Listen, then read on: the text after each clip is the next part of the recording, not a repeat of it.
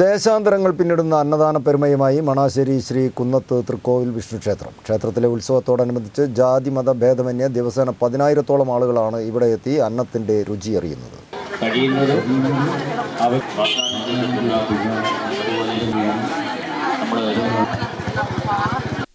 മണാശ്ശേരി ശ്രീ കുന്നത്ത് തൃക്കോവിൽ വിഷ്ണു ക്ഷേത്രത്തിലെ ഉത്സവത്തോടനുബന്ധിച്ചുള്ള അന്നദാന പെരുമ ക്ഷേത്രത്തിന്റെ പെരുമയോളം തന്നെ ദേശാന്തരങ്ങൾ പിന്നിടുകയാണ്. ഉത്സവത്തിന്റെ ആദ്യ ദിനം മുതൽ അവസാന ദിവസം വരെ ക്ഷേത്രത്തിലെത്തുന്നവരെ അന്നമൂട്ടാൻ ലക്ഷക്കണക്കിന് രൂപയും നൂറുകണക്കിന് ആളുകളുടെ അധ്വാനവുമാണ് ക്ഷേത്രം ഭാരവാഹികൾ ചിലവഴിക്കുന്നത്.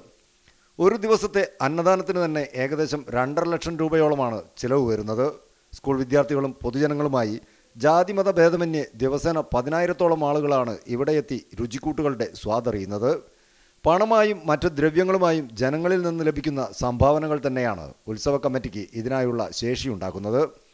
Chief food controller Rajesh Mukkam ഭക്ഷണ കമ്മിറ്റി ചെയർമാൻ ഗോവിന്ദൻ കുട്ടിയരിമൽ കൺവീനർമാരായ സുരേഷ് പിള്ള കിഴുത്താണിങ്ങാട്ട് കൃഷ്ണൻകുട്ടി നായർ പുലപ്പടിയിൽ പാചക committee chairman Aji മുതുകുറ്റിയിൽ vice chairman Sahadevan Kundiyottu Thazhathu convener Shivan കിഴുത്താണിങ്ങാട്ട് എന്നിവരുടെ നേതൃത്വത്തിൽ നൂറുകണക്കിന് ആളുകൾ രാവും പകലും അത്യധ്വാനം ചെയ്താണ് ഇത്രയും പേർക്ക് ഭക്ഷണം തയ്യാറാക്കി വിളമ്പി നൽകുന്നത്.